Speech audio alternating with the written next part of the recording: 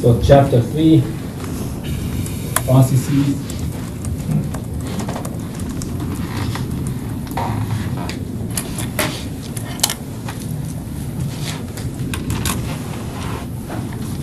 Okay.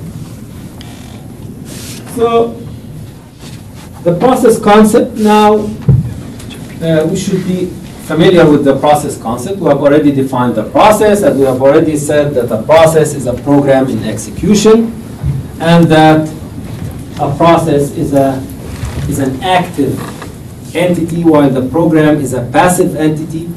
And if we have multiple instances of the same program or the same application running, then each of these instances will be a separate process. And from operating system point of view, the, the, they will all be, you know, each one of them will be a separate process. And the, the operating system will not even, uh, will not even know that they are instances of the same uh, application. Because they may be behaving differently. It's the same application, but it, uh, you know, they may be doing different things. Uh, okay, so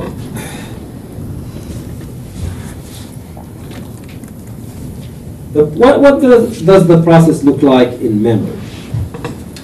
In memory, the, this is the memory layout of a process. There is the text section, which is the code. So this is the code segment. And there is data section, there is the heap, and there is the stack. Now we know what's in the text, the code. But now, what's in the data, what's in the heap, what's in the stack? What kinds of variables are placed in the data section?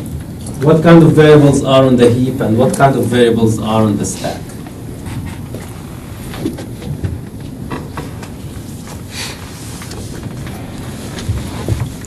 Okay, so what do we have in the data? global and static. Yeah, global and static. Yeah, that's correct. So in the, the data section, we have global and static variables. So what do we have on the stack? Local? Um, uh, Local, yeah, local. Local, you mean? Local, yes. Yeah. Yeah. On, on the stack, we have local variables and, Function call, what's that? uh, uh, just function call. The parameters. No, no, not the code. So the code is here. I mean the function call. uh, Yeah, function, yeah, the, the parameters for the function call. So we have this, you know, the stack frame has local variables, function parameters, return value, return address, the data that is needed to implement a function call, but not the code. Okay, now what's on the heap? Dynamically allocated variables. Yeah, exactly. On the heap, we have dynamically allocated variables. Now, process states. Now, the state of a process, so this is, these are uh, extremely important concepts here. So when a process is first created and admitted to the system, the system is, is going to put it in the ready state. Okay, so it's when a process is first admitted, it's in the ready state, which means that it's ready to take the CPU as soon as the operating system decides to give it the CPU. So it's like, I'm ready. And, but other processes are ready. And there is a limited number of CPUs, possibly one CPU, or maybe two or four CPUs, but there are 10 or 20 processes in the system. So the scheduler will be selecting one process uh, for each CPU. On each CPU, there will be one process that will be run on that CPU. And when a process is selected by the scheduler, the state of that process will change from ready to running. Okay? Uh, so the process is running. When a process is running, different things can happen.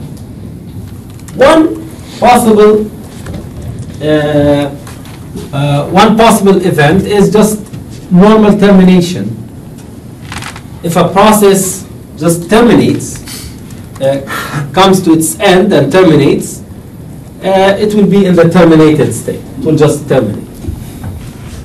A process may request I/O. If a process requests I/O, then the system will put it in the waiting state. So it will be in the waiting state until,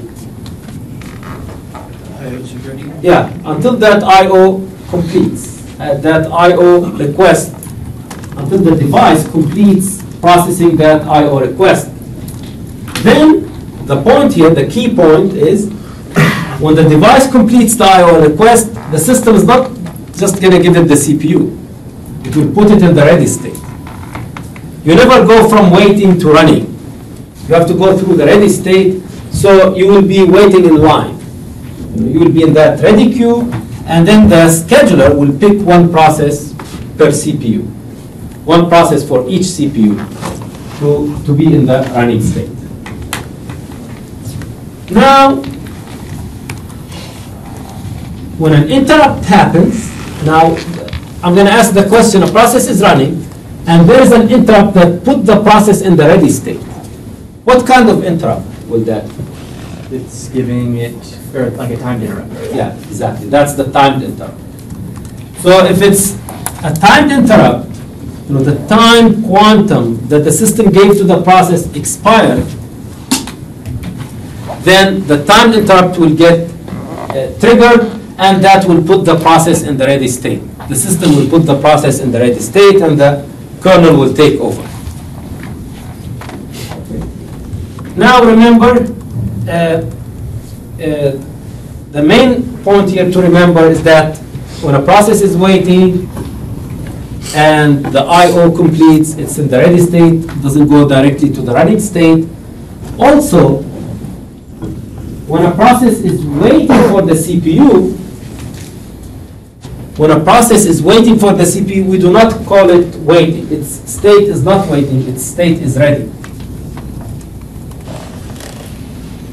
You know, so even though, you know, eh, in English, we can say the process is waiting for the CPU, but the technical term that is used to describe the state of that process is ready. So when you say ready, it means it's in the ready queue and it's waiting for the CPU. Okay?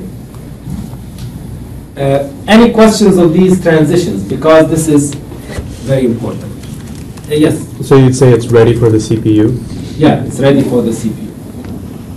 So when an exception gets generated because the process is doing something that it, it isn't supposed to?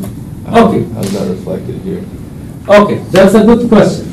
So if an exception is generated, a process is running, of course, because it, it, it ca- it cannot uh, generate an exception if it's not running, then what will, what kind of transition will take place? To which state will it transition?